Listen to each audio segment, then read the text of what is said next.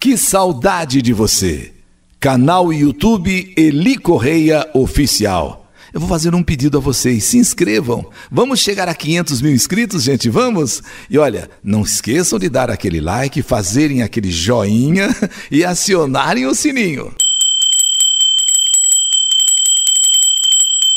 O sininho tocou é mais uma carta de saudade, mais uma carta de história que a vida escreveu. E baixe o nosso aplicativo Eli Correia e acompanhe o nosso programa todos os dias ao meio-dia. E, gente, dentro de poucos dias, as eleições 2020. E eu, Eli Correia, me candidatei a vereador de São Paulo. Gostaria muito de ter o seu apoio, de ter o seu voto. O número? O número é fácil: 25 777. E no canal YouTube Eli Correia Oficial, o e-mail que mudou a vida de todos nós. A melhor amiga da minha filha tem o mesmo nome que o seu. Você que mandou o e-mail.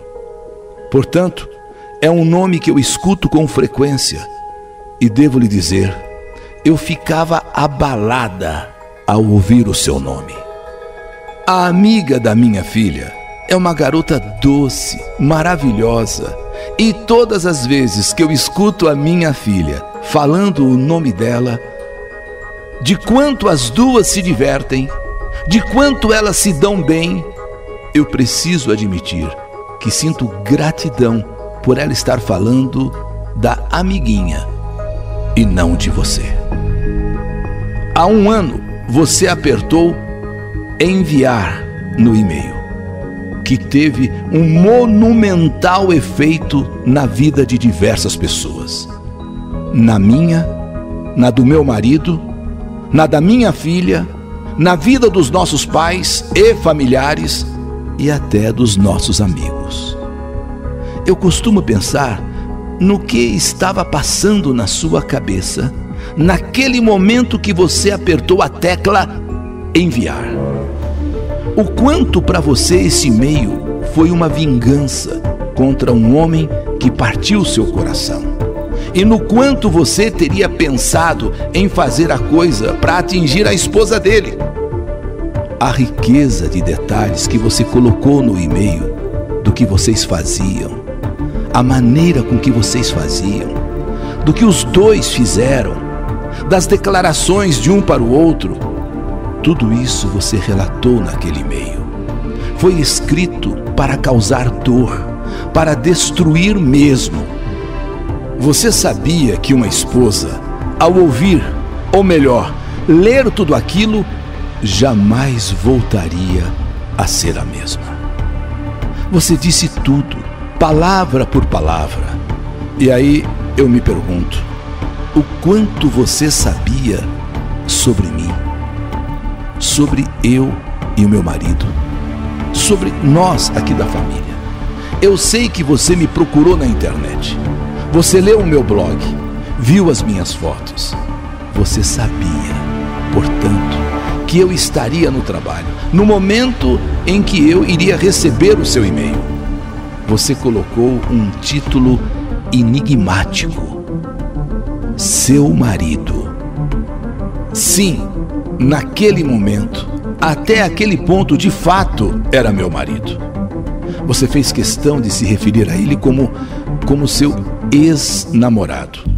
É absurdo eu ter que confessar que um homem que eu conheço tão bem, intimamente, tivesse outra pessoa tão importante na vida dele e eu não soubesse. E honestamente eu não sabia, eu não desconfiei. Pelo que eu o conhecia, pela nossa convivência, eu deveria saber, eu deveria pelo menos ter desconfiado. Nós éramos sólidos como uma rocha. Eu e ele tínhamos um bebê de seis meses de idade. E ele sempre no trabalho, vez ou outra com os amigos em algum bar bebendo uma cerveja. Mas sempre que eu precisava dele, sempre que eu precisava que ele estivesse perto de mim, devido ao nosso neném, ele estava.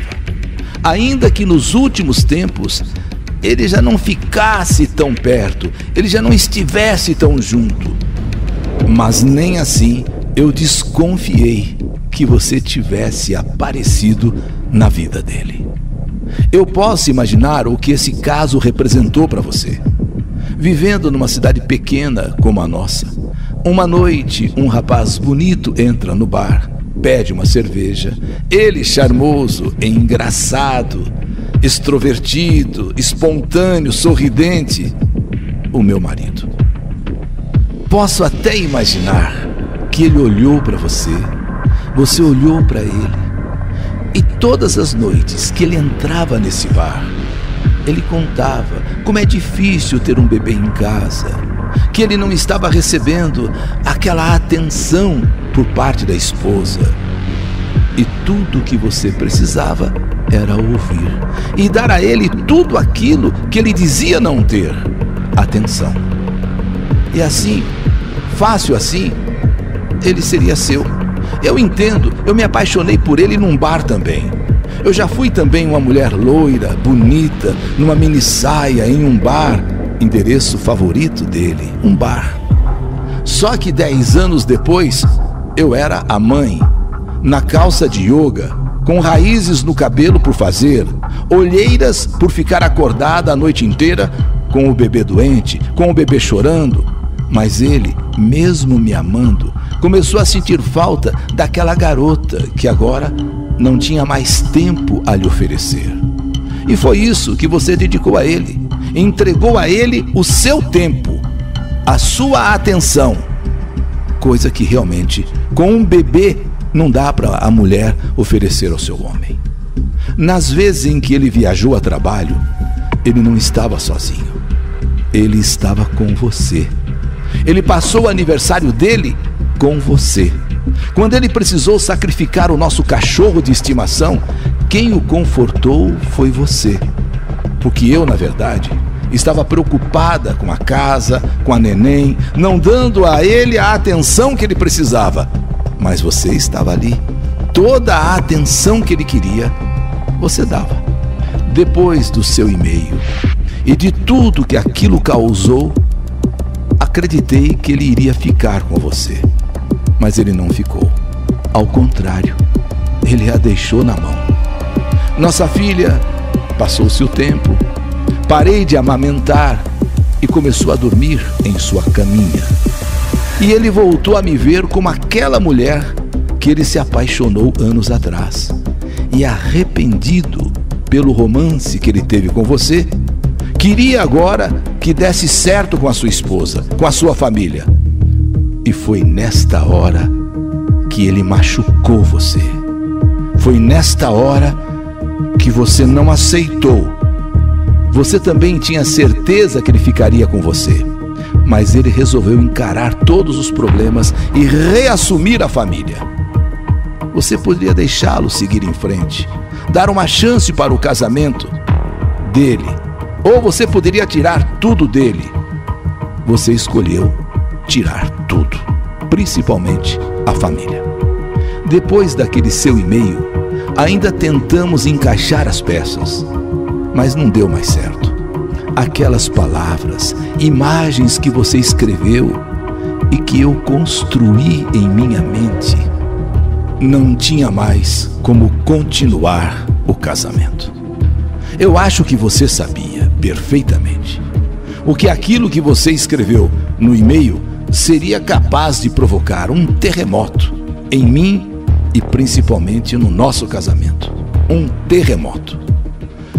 Nós dois estamos bem agora. No entanto, eu sou eu e ele é ele, separados. Na verdade, estamos mais próximos do que nunca. Nós aprendemos muito sobre nós mesmos durante todo esse processo. Apesar de termos seguido em frente, nós ainda nos amamos e nos respeitamos mais hoje do que antes, o que é um efeito positivo para nossa filha. Eu espero que você tenha seguido o seu caminho, a sua vida também. Espero que você tenha aprendido com essa situação e que você possa encontrar paz consigo mesma, assim como eu consegui. Começamos a namorar em 2005. Nos casamos em 2011. Nossa filha nasceu em 2013. E um e-mail mudou nossa vida para sempre.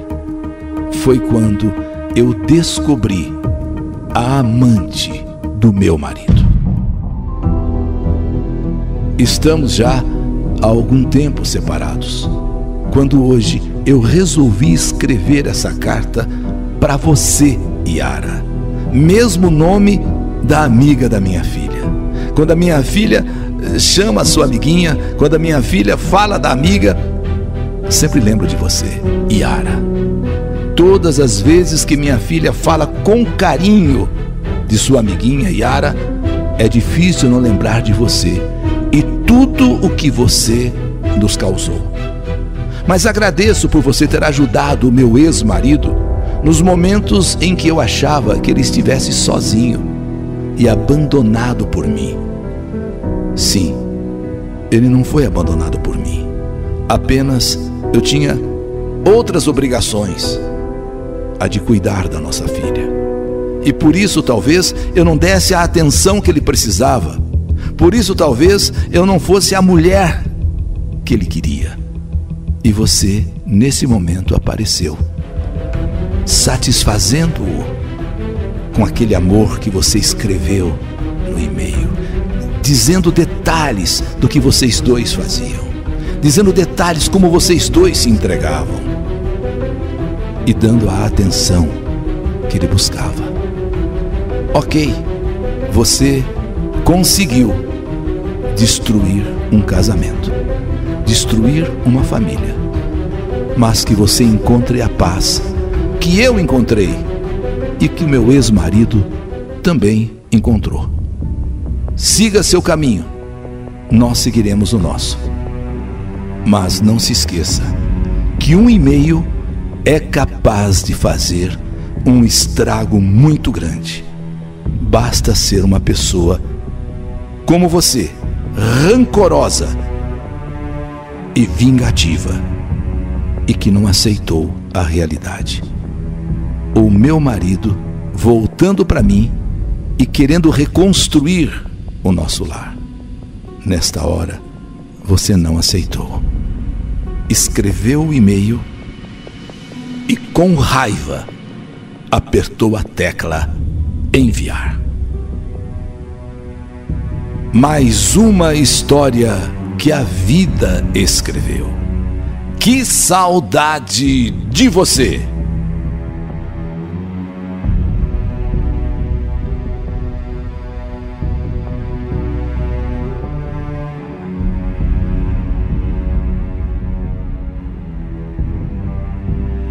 E-mail que mudou a vida de todos nós. História do canal YouTube Eli Correia Oficial.